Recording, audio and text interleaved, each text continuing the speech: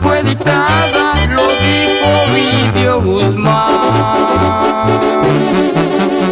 El dinero abre rejas, no se les vaya a olvidar. Cuando escuchen las noticias, se escapó Vidio Guzmán. El gobierno americano solo quiere mi dinero.